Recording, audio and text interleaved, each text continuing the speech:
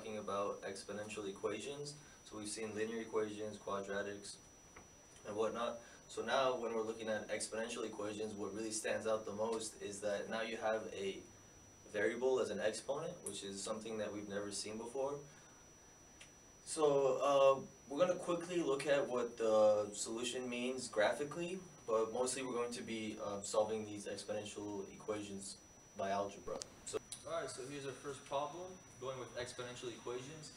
2 raised to the power of x equals 8. We know it's exponential because you got a variable in the exponent. Now we're going to be mainly solving these exponential equations uh, with algebra techniques. But let's just go ahead and move on to the projector really quick to see what this thing looks like uh, graphically so we can talk about the solutions to uh, exponential equations by just looking at a graph. Alright, so we just looked at that uh, equation, 2 raised to the power of x equals 8. You know what that equation really was saying is, uh, you know, 2 raised to what power is going to give me that 8, which is actually a y value, right? So it's pretty much saying at what x value are we going to have a y value of 8. Okay, so we come over here, uh, I've plotted out, uh, you know, if we were to plot out 2 to the x against some y values or whatever, this is what it would generate, uh, an exponential curve. So in red, we have 2 to the x graphed out, and you know, uh, 8, y equals 8, we would just expect that to be a horizontal line. So here in blue, we have the horizontal line y equals 8. Notice the intersection point right here is going to have a y value of 8, because that's just, you know, all the way through but it happens to be at an x value of 3. So graphically, we, we already we already seeked out the solution is 3 because we noticed that it has a, that uh, equation, we have a, a, value of 8 when uh, x is 3. Okay, so let's go ahead and look at the first example. Let's focus on the types where we get both sides of the equations to a same base. So here, I can't really do anything with the left side of the equation, so let's uh, try to rewrite 8 in a way where it has a base of 2. And also I notice this, this is an exponential equation because we have a variable as an exponent. So we have 2 to the x. I haven't done anything with that, but I could rewrite this as having a base of 2 because I'm trying to get both sides of the equations to have the same base. And the exponent would be 3 now. 2 cubed is equivalent to 8, so I'm allowed to do that. Now what this is trying to tell me with the equal sign in between them is that when I have the same base, their exponents have to be the same. So once I have a common base, my new equations is their exponents now. So we just pull out the exponents, which is x, and the exponent on this guy is 3. So in this case, we already got what our answer is, which is x is equal to 3. And that makes sense because what this is really saying is 2 to the what power is equal to 8, and that happens to be 3. Okay, so why don't you guys go ahead and give this a shot? It's pretty similar to the one I did. Try to get a common base so we don't have to take the logs of both sides. Okay, so I'm going to try to write this 27 in a way where it has a base of 3. So I'm trying to get a common base. And 3 to the second power would be 27. Nope, that would be 9. So 3 to the third power would be 27. Okay, so now that we have a common base, we know that we're just going to pull out the exponents and work with that as our new equation. So we get that x is equal to 3. So very uh, similar to the one we just tried. So we're going to try some more. Alrighty, so this is our third example. For the other two that we did, um, our uh, term with the variable as the exponent, it was always isolated. Like we had 2 to the x equals 8 and 3 to the x equals 27 here notice our term with the variable as the exponent is not isolated. So when it's not, your first step is just to go ahead and isolate it first before we get it to a common base. So here I'm just going to go ahead and isolate it by adding 3 to both sides. So then I get that 5 to the x is equal to 125. So now that it's isolated, we're going to go ahead and try to get this 125 to have a base of 5. Okay, 5 to the third power would equal 125, that's equivalent. So now that we have a common base, we just pull out the exponent, so our answer we get is x equals 3, and that would be it. Okay, so just moving right along. Uh, we just wanna see if our term with the variable as the exponent is isolated or not, that's our first step, and our second step is just to go ahead and see if we could get it to both sides of the equation to the same base. So right here, here's the term with the variable as the exponent, it's already isolated, so I'm just gonna go ahead and try to write this sixty-four as having a base of four. Try to get it to the same base, so four to the power of three x plus two is equal to same base, four to the third power is sixty-four. So now that I have the same base, I'm gonna pull out the exponents as the, as the new equation, so three x plus two here, three here. Now we're just gonna solve for the variable, right? So just solving this is just a linear equation, subtract two on both sides. We get that three x is equal to one, and then if you divide the three over, you get that x is equal to a third. So that happens to be the solution to this exponential equation, x equals thirty. Alrighty, so why don't you give this a shot, and then we'll go over it together.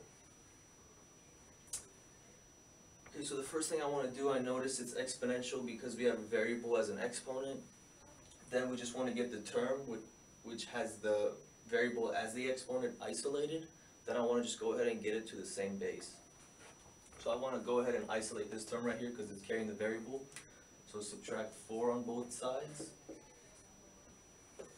So then we get that five to the power of four x plus three is equal to hundred and twenty-five try to go ahead and get this 125 to a common base here. So 5, and then 5 to what power is 125? That's 3. So now that I have the same base, I'm going to pull the exponents out as the new equation. So 4x plus 3 coming from the left, and 3 coming from the right. Now I just solve for that variable. So subtract 3 get that four x is equal to zero. And then we get that x is equal to zero by dividing the four over. So. Alright, so this uh, exponential equation, I know that because we have variables as the exponent. Uh, we have both sides of the equation having a variable as an exponent. It's, it's the first time we've seen that. So I see a base of two here. So I was, when I'm just looking at 16, I want to see if I could get it to to have a base of two. So let's see. So we got two to the power of three x plus five is equal to.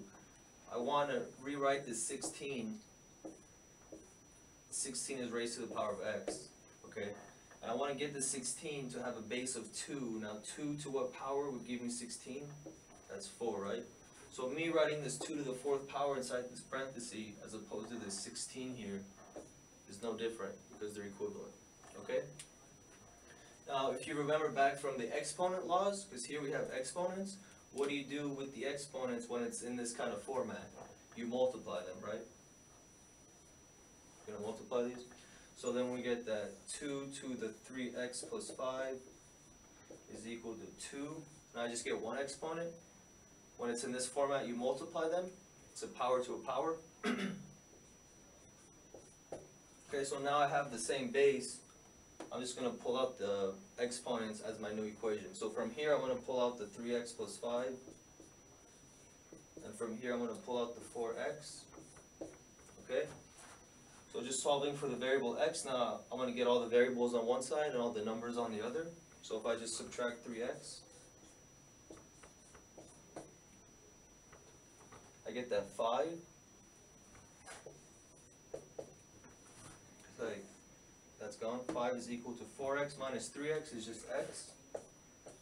So I get that my solution is that x is equal to five. That would satisfy this exponential equation. Okay, so this is the last problem that I want you to try, where we try to get both sides of the equation to a common base. Alrighty, so this is an exponential equation because we have variables in the exponent where they usually aren't, and then both sides of the equation are carrying an exponent as a variable. I'm just talking too much again, sorry. Um, so I'm gonna try to go ahead and see if this eighty-one could be rewritten in a way that it has a base of three. 'Cause my goal is to get both sides of the equation to have a common base right now.